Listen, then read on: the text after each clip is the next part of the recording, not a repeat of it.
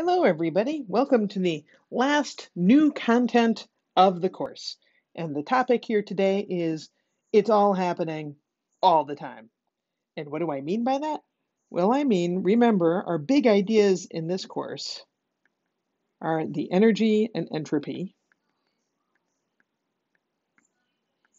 balances, uh, and then the systems where you apply those all the time, like especially engines and uh, fridges, anything else that's a cycle. So that's one really big idea. Our second idea is fluid properties. Uh, and that's got a focus on vapor liquid equilibrium, but it's also got water activity and osmotic pressure hanging out in it. Um, it's got lower flammability limit hanging out in it. Um, heck, it's even got um, equations of state hanging out in it. All of those things all together, fluid properties. And then our last big idea is uh, reaction equilibrium. Now, uh, a bunch of you have also probably noticed that when we talk about reaction equilibrium, um, it's just about how much product we expect when this reaches equilibrium. And sometimes we expect all the reactants to go as far as possible into turning into products, but sometimes we don't expect that. Um, you may be wondering how fast that ought to happen. That's not our problem. That is, however, your problem next semester. How fast is about kinetics and reactor design, and that is the name of a course you're taking next semester. What a surprise. Just like when you would ask a question for how fast for heat transfer or energy transfer, that turned out to be a problem for your heat transfer course. And when you wanted to ask how fast about the behavior of a fluid, um, that's kind of a mix of uh, separations and UO. So we have all these things coming together. And I just want to point out to you that even though we sort of looked at these as though they were kind of three consecutive things.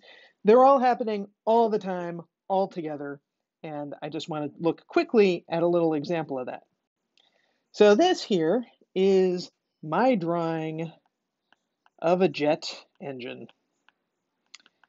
And that's a cycle we didn't particularly cover, but you could go talk to your friends in MechE if you want to get more detail. It's any engine cycle is a thing you are now equipped to do because you understand energy and entropy balances. Um, but I, I like this as an example here right now because it's got all three of our big ideas kind of happening in rapid succession. Even though that's that's true, actually, in a lot of places we could find this in a refrigerator too. But I thought, heck, let's uh, let's pretend it was possible for us to actually travel somewhere and think about a jet engine. So how a jet engine works is it starts with a big kind of fan up front whose job is to compress air, right? Air comes kind of wandering in from the outside and it's at not a, a, high pressure. We want it to be high pressure. So it runs through this compressor. And so the air runs through that compressor and gets smooshed really small. So imagine it's kind of going, uh, and it goes through more than one set of rotors but I'm only going to draw one because drawing rotors is a pain in the butt. So just pretend I've drawn one. Then we mix some jet fuel in it. Uh, you know, jet fuel, you can go look up what jet fuel is. It's, uh, it's a hydrocarbon product like gasoline, super duper flammable. And it is introduced in a, as a very, very fine mist, so it is going to be very easy to burn. And in fact, then there's a uh, I believe there's a spark plug in this, something like that. There is a source of ignition, and that goes up, boom. Um, so then we have, you know, the burning fuel, and the burning fuel, then the combustion products go speeding out the back end of the jet engine. As they go speeding out of the back end of the jet engine, they pass through a turbine, and the turbine's main job actually is to rotate uh, this element that connects it back up to the compressor. So this turbine actually runs the compressor that's sitting there in front of it. Runs some other stuff too. But then this hot gas flowing uh, out the back of the jet engine is what then pushes our jet forward, right? Thank you, Mr. Newton, Dr. Newton. Uh, the jet goes forward because the gas goes backwards. And as you know, since this is combustion, uh, we have CO2 and water. And so eventually, um, this water uh, and CO2, which are uh, initially very hot gases, now are up in the upper atmosphere and cool off. So where do we see the elements of the class lurking here? Well, we have a, a compressor and a turbine, and in fact, this does constitute a cycle. So we see energy balance, we see entropy balance, we see a cycle right there. Boom, happening in a connected way all together. Then here in the middle, I just said things were burning. Oh my gosh, that is a reaction.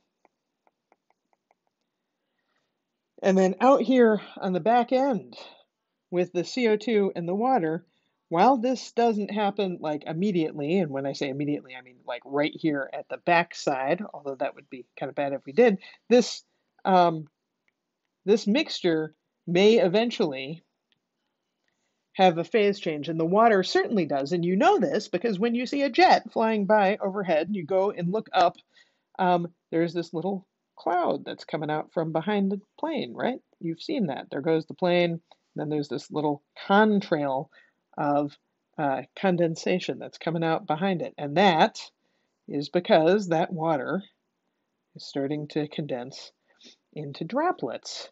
So we have out over here, we have some fluid properties we got to worry about.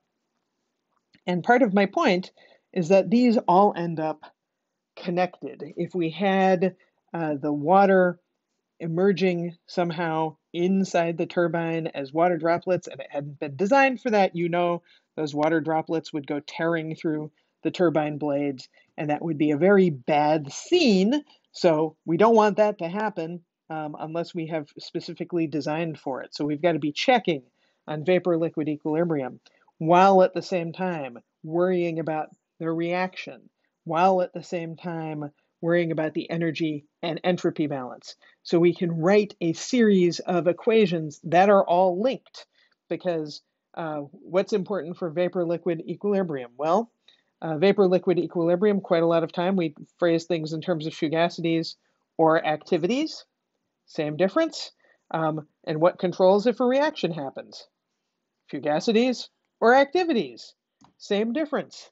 And then uh, when we have this energy balance on this overall um, system, you will recall in the energy balance and the entropy balance, we're thinking about, uh, for example, enthalpy. And to compute that enthalpy, we either need to know that we can treat what we're working with as an ideal gas or that we can't.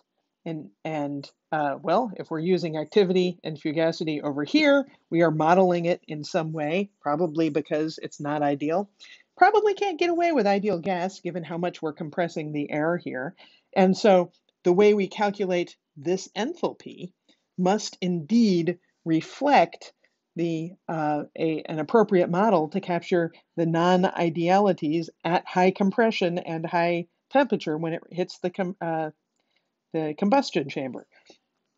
So uh, what we're calculating here is intimately linked to those activities and fugacities, which then impacts what we have out there. And these things just all um, have to be in sync with each other. And if we want to look at this system overall as a whole, we'll have to solve all of these equations at once. Now, quite often we are able to simplify and say something like, well, look, I'm just going to look at the compressor. I am just going to look right here at this reaction. I am just, mm, works a little less well. I am just going to look at the turbine. Uh, but there comes a time when we got to take it all at once to get the big picture. And that means we're going to have to solve these in a linked way. Fortunately for us, we can do some back of the envelope calculations that give us an overall idea of what's going on. We could do those by hand, but really, when we want to do detailed calculations on this, uh, accounting for all of these elements simultaneously, we are going to use a computer because the solutions are iterative. We don't know what temperature this is until we know what's happening with the reaction. But what happens with the reaction changes depending on what temperature it is. And can we consider this adiabatic, in which case the temperature is shifting, or uh, is it constant temperature? Hint, it's probably closer to adiabatic. Therefore, um, we're going to have to do a calculation at a certain temperature, check the energy balance, see if it all works out, and if it doesn't, then we try a different temperature and go again, and we iterate in loopy, loopy, loopy, loopy fashion over and over again until we get this to converge. This is what computers were born to do, uh, so we will use them extensively for this sort of thing.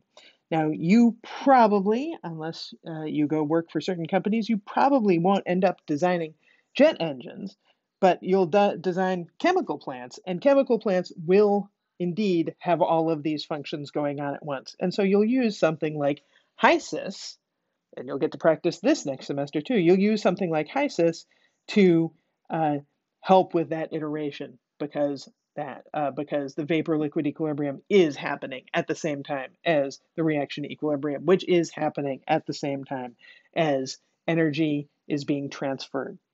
Uh, so it's beautiful. It's great. This shows up everywhere. And um, I hope this class has helped you see a little of that. We're going to celebrate uh, on Friday by watching everybody's videos and reading everybody's tweets. And then we'll have my summation and wrap up on Monday.